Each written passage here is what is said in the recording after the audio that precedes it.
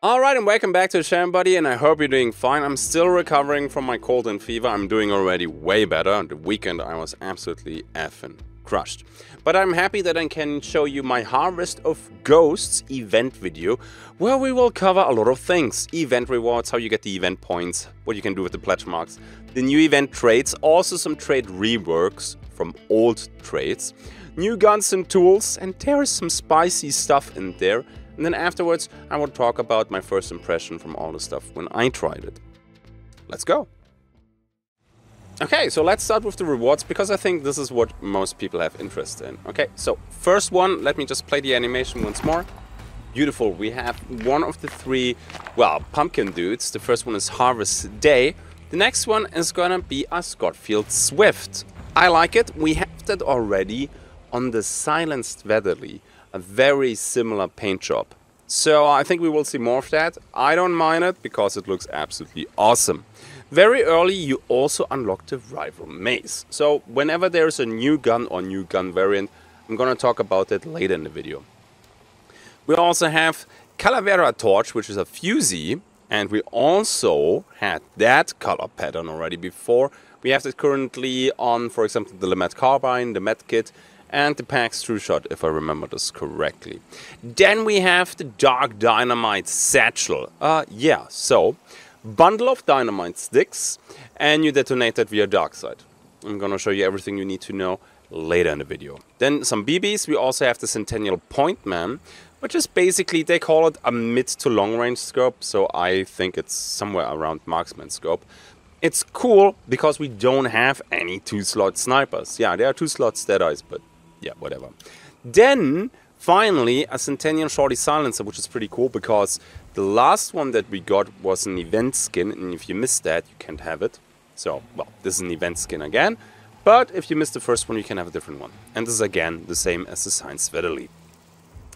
Hand crossbow revive bolt is level 8, and it says right here, revives a down teammate on direct impact.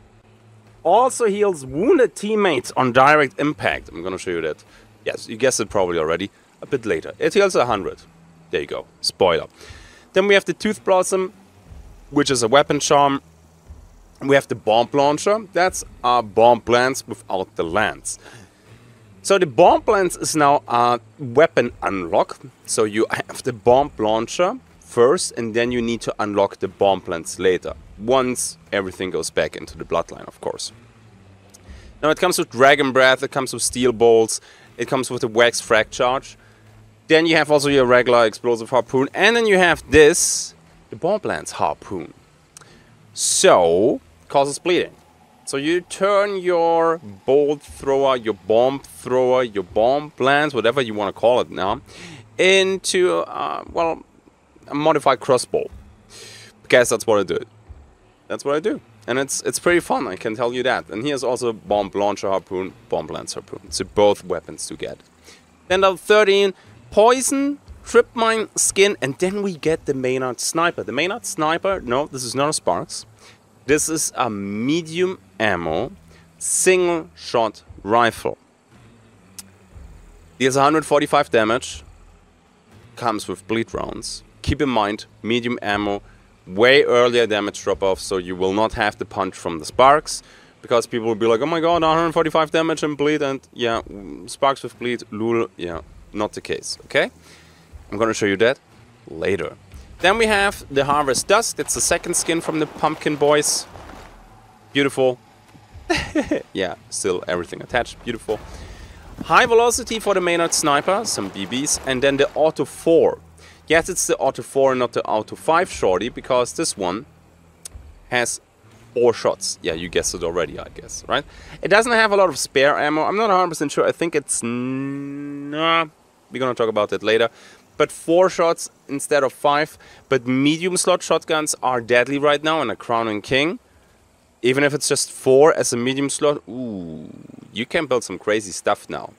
You can have the Seni Sniper, the medium slot one, together with this and you don't need quartermaster and you have a long to mid range without any actually large range weapons or large slot weapons. I like this a lot, man. Witch Scratcher, sure, weapon charm. Then we have another ammo box, the bullet coffin. Uh, yes, this paint job is something that we've seen already now a couple times. Then we get the Maynard Sniper Dum Dum ammo. We have a Spark Sniper skin in this paint job with the other silencer weapons. We get the Drilling Shorty now with this uh, very lovely flower paint job. That is really awesome. Some BBs, then we get the Kindoka, which is a new legendary skin. Fancy, you can play this probably together with the Ronin, they're gonna be best friends. We're gonna have a big stamina shot, the Hot Spring Sake. Hey, why not? Then we have a conversion pistol skin, the Honor's Gift. We have another weapon charm, the Umamori. More BBs. We have another Concertina Trip Mine. I'm gonna be honest with you, I will probably not play them because you have already a couple that have a dark skin. For example, I think it's called the Honor Shredder. They are basically black or a dark gray and they blend in with the envir environment way more. Uh, but hey, maybe you like that. Then we have this beautiful slate. Sure, why not? Perfect for the new Legendary Hunter. Then we have the crossbow Deadeye, the Shootist's Joy. Honestly, beautiful. I like these little details with the star. Uh, it's just a shame that you don't play the crossbow Deadeye dead much. Next thing, this is amazing. The Seni Trauma. Boy, this is cool. I'm not a huge Seni enjoyer, but this thing right here, I'm gonna play that. Yeah, the Centennial Trauma, the Skull Breaker. A new regen shot.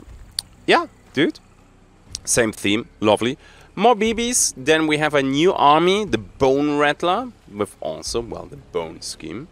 Then we have 37 Harvest Midnight. That's the last one from the Pumpkin Boys. He's a little bit uh, loco, but what you gonna do? And this one is the charm unlock for the bonus point. So you can see already that the battle pass stops at 37 and it's not going all the way to 50. But there's a lot of stuff drin, there's a lot of new stuff in it, and I honestly love it. Now, sure, let's see how the actual gameplay will be like, but I like the increase of medium slot weapons slash variants because they're not really new. But I have to tell you that, for example, let me go all the way back. I want more of this makeshift stuff. Like that. Give me more. We need more of these unique, unique weapons that give us a reason to play the game. These are unique selling points because only Hunt has them. Yeah, and with that, you saw all the rewards that you can get. Let's jump to the next chapter. Okay, so I showed you the rewards, and honestly, the event points, this is something that's very repetitive, and it's always the same. So if you're a veteran and you know already the old events, you can of course skip this. Timestamps is always in the description below. But if you're new, let me show you real quick. So we have a sealed token and the master clue, and they both give 50 event points. Extracting with a token or winning Soul Survivor is giving you 30 event points. Banishing a target, that can be a boss or a wild target, wild target, Hellborn and Rotjaw, should you actually find here. It's a little bit difficult right now. Or becoming the Wellspring gives you 15 event points as well. The moment you loot your first hunter, you get 10 event points. Doesn't matter how many you loot, the first one does matter. Closing event rifts or event clues gives you 8 and killing a meathead gives you 3. But it doesn't end there because you get more points. For killing hellhounds and immolators you get 2. You're getting nothing for armors and hives. Grunts you don't get anything either. Smashing pumpkins gives you 1 event points and it doesn't matter if it's a scarecrow pumpkin or a regular pumpkin lying around. And yes, pumpkins are back and it's awesome that you can smash them again. They do not show up in Darkside though. Weekly regular challenges give 750 to 1000 event points, the weekly premium challenge gives 1500, and the first dark tribute that you can do every day is 200 event points. Nice! Keep in mind that these event points are shared with your team, so when one dude loots the first hunter of the match, everybody gets the points. Alright? Uh, when somebody extracts with a token, don't you worry, you don't need to have the token, you get the event points as well. Okay, that's it. Let's go to the next one. Okay, then the pledge marks, it's very similar to the event points, but for the sake of completion, let me cover this real quick. So you can have up to 4 pledge marks on a single hunter, right? You can gain a maximum of 3 per match.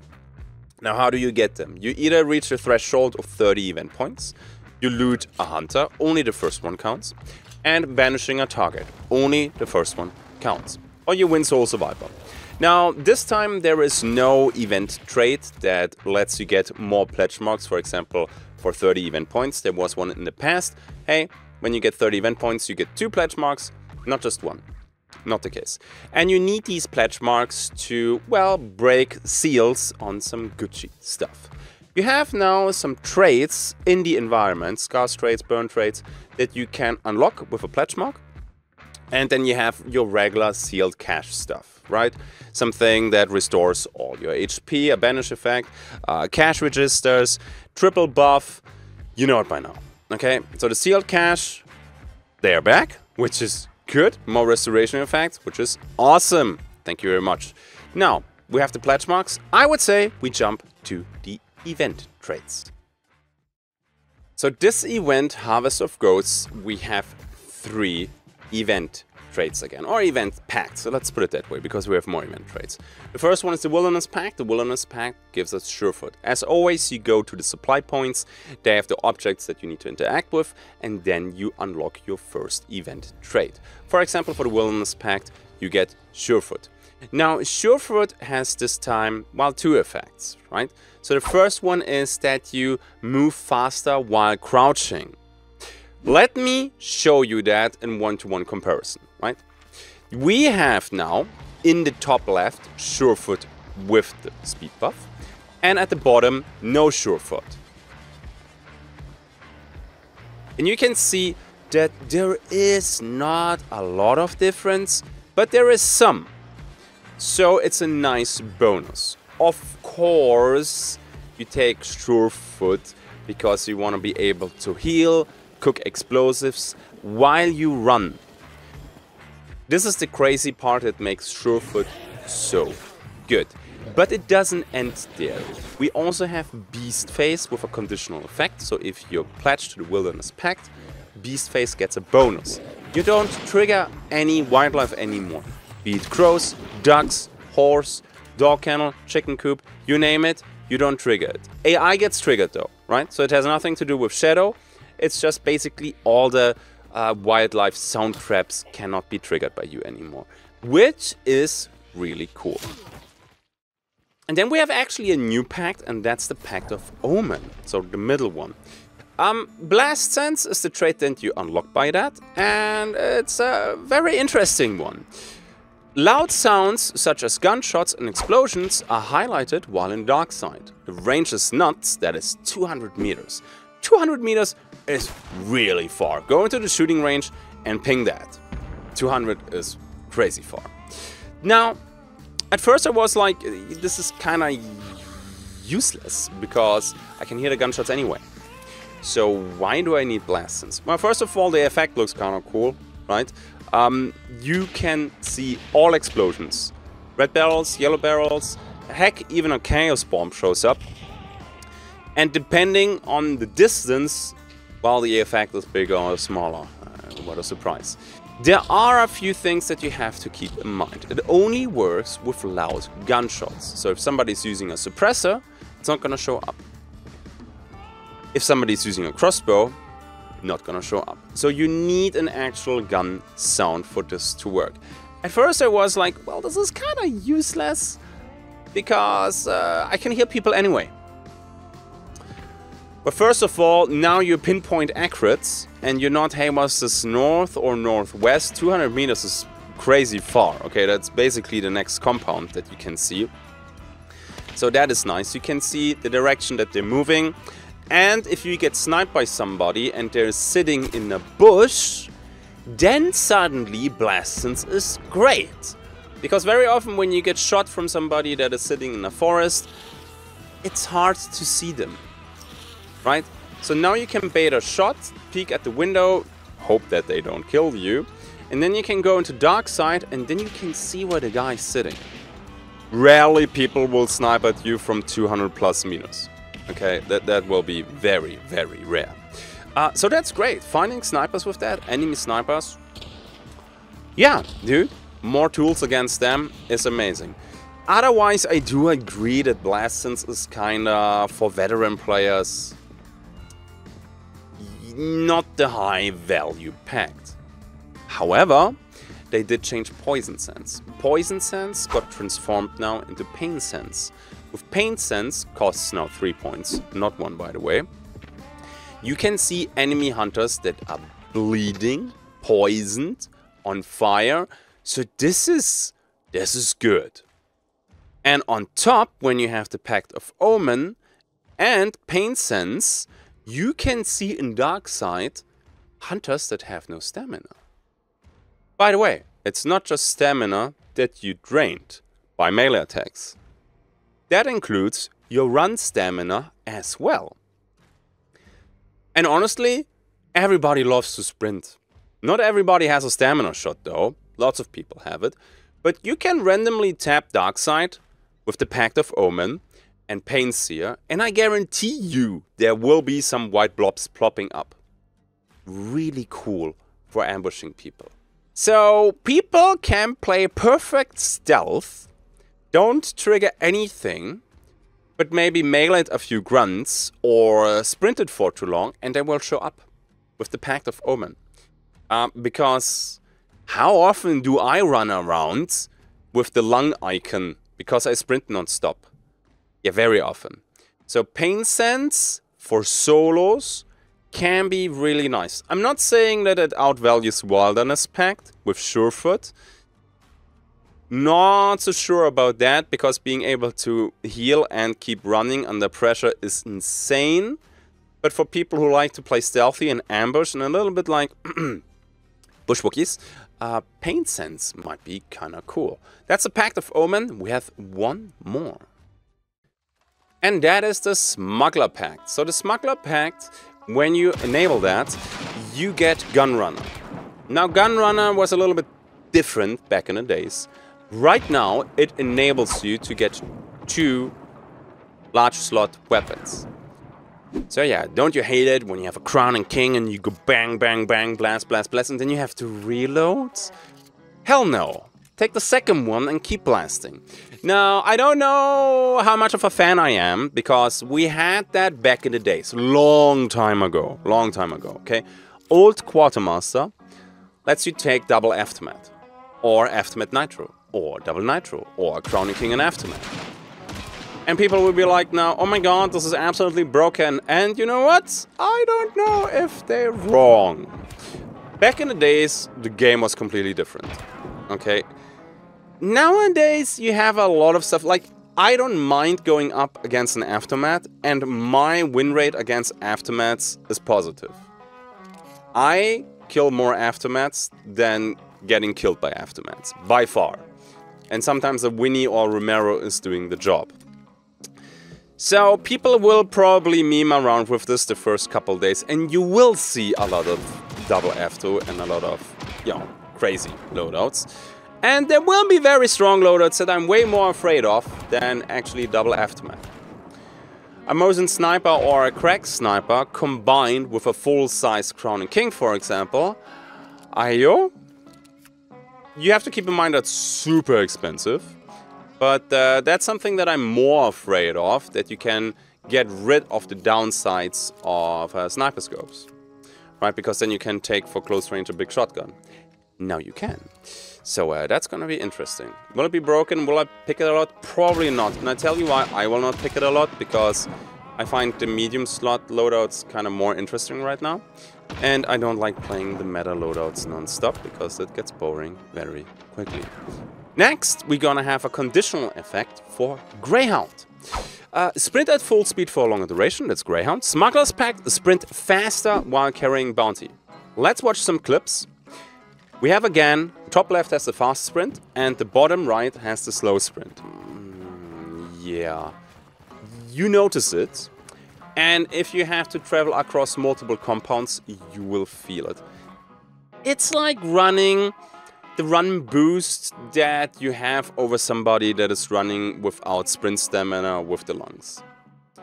So of course, if somebody has stamina shot, has Smuggler's Pact with Greyhound, and the other guy has to try to catch up without Greyhound and is having the lung symbol the whole time, then this will have a lot of impact. Otherwise, it, it, it's kinda yeah. And the hunt community is always telling me when you have the bounty, you should not run away, you should fight while you're running away, so whatever, right? Running away is, is not the way to go, no, right? Yeah, so, okay, there you go. Um, all three packs are interesting. For me personally, Gunrunner will be the boring one, and I will take the more gimmicky Surefoot slash Omen. Omen will be interesting. I think for sniping it will be cool, because you can set up a lot of ambushes, but maybe even with some crossbows and other shenanigans you can do something fancy. We will have to wait and see. That's it for the pack traits. Let me know in the comment section below what you think about them. There is more though, because some traits changed. Now, don't forget, I'm not gonna cover all the patch notes in this video because I want to break down it in smaller elements, maybe even do a short, for example, for the sniper changes. We're gonna do a short clip for that because otherwise this video is getting even longer. Uh, Conduit though, get a health and stamina boost when your team picks up a clue or closes a rift. Solo bonus! Investigating one clue gives the same map progress of investigating two clues. And in my opinion, that kinda sucks. so what it does, it gives you basically two clues for one, but it's only giving you the stamina once. So a single bounty, you're doomed to only get two clues max the moment you take Conduit, which gives you two three minute boosts of stamina. nah, I don't like this. Uh, this would have made sense with six minutes then, so you get for every clue that you get, or every clue effect for revealing the map, if you would get the stamina. Yeah, right now I almost see this as a drawback. Maybe it's something for newer players where it's nice because then you will find the boss faster. For veterans, they kinda know after the first clue a little bit already the rough direction where they have to go and I don't think they will profit much from this. It might even be a drawback. I didn't pick uh, Conduit as a solo ever, but now when I find Conduit in the world I will probably respec it because, well, trait slots are always limited during the event. Interesting choice.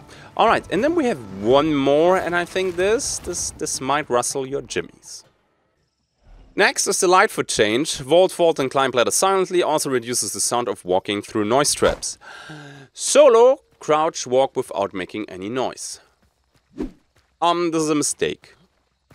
I'm gonna be I'm gonna be straightforward here with you guys. I think this is a mistake, and this is coming from somebody who plays 99% of the time, exception maybe Twitch drops, solo. Surefoot. I always said, hey, bring Surefoot back because being able to heal and cook while running is cool. The vanishing of the footsteps, mm, not so much. No, I I like to think of myself that I'm a solo that plays somewhat fast. I know there are faster players out there. I totally know that. But I think that I'm still faster than average. This will enable even more solo shotgun crouch walking. Fair enough. I think this was not necessary. So Lightfoot was already good. And now it's very close to being a must-have for solos. Not a fan. I think we could have done something else. Maybe reduce the crouch walk without making that much noise. Or maybe just on specific surfaces, but not on metal. Metal is crazy. This is Oof. And I am a solo player. I find this crazy strong. But hey, let me know what you think about that. Okay, there's more though. And then Bulwark, my beloved Bulwark. Uh, it's a very solid perk for, for two points right now. Uh, it will not save you anymore from the explosive harpoon though, from the bomb lance. Which I think is fair, because impaling somebody with the explosive harpoon is difficult enough, and then they have bulwark, and then you're like, oh my god, really now? So I think this is fair. Uh, yeah, maybe this is the time of the bomb launcher bomb lance combo. Uh, spoiler alert, no, it's not, but uh, at least it's gonna be a little bit better. Okay, let's have a look at the Dark Satchel. So you can place this walls, ceilings, almost everywhere. There are some exceptions like the big sliding metal doors because, well, they move. But otherwise, for example, high grass. And before you say, oh my god, this is busted, you have to learn to recognize the sound.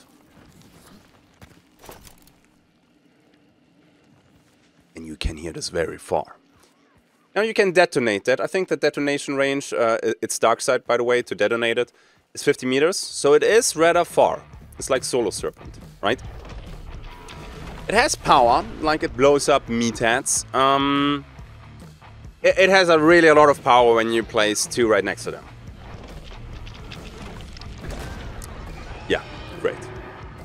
You can detonate the Dark Satchel by shooting it, by setting it on fire, like a regular dynamite right? That's how it reacts. You can also toss a big dynamite on a dark satchel to trigger it. Because why the hell not? I'm gonna show you also how you can recognize that somebody is triggering the dark satchel. First of all, it's very loud and second, it glows like crazy. You can see the glow effect even through the wall, when it's a thin wall, right? And Dauntless, yes I know Dauntless OP, Dauntless can defuse that thing. So if you get blown up during the event one too many times, try some Dauntless. Might help you. Okay, next up we're gonna have the Bomb Thrower. Uh, the Bomb Thrower is basically the bomb lance uh, without the lance. I'm gonna showcase mostly the Harpoon because it's a new ammo type and it is very, very strong. Four shots, killing meatheads, uh, insta-killing, immos, hives, armors, depending where you hit them. Sure, the reload is not as fast as the crossbow, and we do not have bolt thrower for that thing. So before you're like, oh my god, the crossbow is useless now. With bolt thrower, crossbow I think has a little bit the advantage. But the bomb thrower, a medium slot, silent shotgun basically, because you can load it with steel balls, you can load it with dragon breath. That means you don't need the flare gun. You can have two special ammo, so you can take the harpoon, you can take dragon breath. You can take the harpoon, you can take the wax frag charge. The combinations and the loadouts that you can do with this is crazy because you can suddenly play a Mosin or whatever good long ammo rifle that you like, pair it with a bomb thrower for close range or mid range. Dang, dude. There will be some crazy loadouts with that. In close range, the harpoon, uh, the regular special ammo, the steel balls, all of this is deadly. Yeah, Bring it. Uh, I can't wait for that. You delete bosses with this? Uh, it's very fucking nice. I played like with the Crown and King Auto 4 that was a little bit close range overkill. Have to admit that. But fun. Okay, next, let's discuss the healing shot. Because, boy oh boy, in advance there were a lot of different opinions and uh, facts floating around, and some of them were just wrong. Alright, so the healing shot, as you just saw, you can pick up your teammate with that, and it comes with 1-3. So you can revive quite often with that. Uh, healing shot is also healing. Yes, not just rezzing, uh, it also heals. It heals 100. It does not stop any bleed, though, or fire, right? So... Uh, I don't know how useful it will be for healing your teammates. You cannot heal yourself. Well, maybe you can shoot straight up, uh, sprint forward, and it hits you on the head. But it's not like you shoot a healing cloud and you can stay in that and heals you. So the healing shot is really just for reviving and healing your teammates. Now, uh, what do we think about this? Like, the healing is cool, the reviving, I don't understand. We nerf Necro, and now we bring a revive shot. Like a hand crossbow shot. Not not like it's like uh, why? This is the usual Crytek balancing that is slowly getting on my nerves. Hey guys, um, yeah, the melee tools, they delete bosses too quickly, we have to nerf them drastically. Oh yeah, the world melee weapons? No, no more in the boss area. Well, super rare they are there and you have the fixed world spawns, yes, I know, but still. Uh, here's the spear. Huh? For months, the spear absolutely ravaged everything that was out there, and I don't care what you're saying, that thing was broken. Right? Uh, it was just with, without competition. I don't know. Then, oh yeah, Necro, kind of weird that you can revive so often. Necro, only one charge. That's it. Yeah, nerf Necro. Here's a hand crossbow with healing bolts, and you can use it four times. Or even more if you take two slots with healing shots. I don't... I, it's not even difficult to shoot at an ally because it has not a lot of drop. What? I mean, I, I, don't get me wrong, I like this gimmick. I like healing my teammates when they're out of mats. Sure, you can play this with fire and you can play this with the regular. Awesome. It, it, it's something that will very often be a mystery for me. But hey, let's jump to the next one. We're gonna have the rival mace. Yeah, I mean, we all know the short rival. Now it has a mace attachment. Yay. Pretty cool because, well, immolators. So you can now maybe play a heavy knife or something like that together with a mace. Uh, I, I don't know. It's cool. I like it. More trauma variants. Very nice. The rival has now on the full size. On the short one, the trauma attachment. I like it. Hope we will get more than just that. Immolator, too heavy, one light attack. It's the same as the Obelisk Mace fancy, and I approve that. Okay, then we have a few more things. We have the short Sani with the scope, and I have to say that thing, interesting. I'm not a huge fan of the Sani sniper because you either had headshots, and if you don't do that, it's a wet noodle and you deal basically no damage. But as a short variant, and I played it, and while I played it, I have to say this way was manageable. It really was. And there are traits for that to make it even better. So together with a short shotgun or maybe with Quartermaster, big shotgun, short sniper, which is absolutely weird to say, it opens up a lot of possibilities. Sure, you can just go the smuggler pact with gunrunner and have full sniper, full shotgun, but not everybody wants to do that and the event is gonna be over at one point. Don't forget about that. Okay, Thumbs up, I like that. And there's another medium slot weapon that we're gonna check out right now. And that's gonna be the Auto 4. Not 5, 4. Because you only have 4 shots on that, because the thing is a little bit smaller. Um, the spare ammo that you get with that uh, is yikes, so you don't get a lot. If you shoot that non-stop, you will run out of ammo very quickly. You can do some fancy stuff, play Quartermaster, Play that with the LeMat Carbine together with a short Crown and King. You get some extra ammo from the LeMat. It might work. Again, I'm crazy loving these two slot weapons that they're giving us because we can spice up our loadouts and play some stuff that we could not play before. Will it be too strong? Hmm. Questionable, because short shotguns are kinda crazy right now, since the last balance patch. They are way stronger, way more consistent, and um, I'm not afraid to, you know, RNGesus take the wheel whenever I pulled the trigger in the past on a short shotgun, and uh, you dealt like 5 damage, and you're like, what the hell, the crosshair was right on them. Uh, not the case anymore. Okay, so it can be, but it's rare. So we will have to play it a little bit to see how balanced that, that's gonna be. And then we have another single shot sniper and that's gonna be the Maynard sniper. It's a little bit different because you have this two-staged reload with the placement of the uh, percussion cap. Absolute attention to detail, I love this.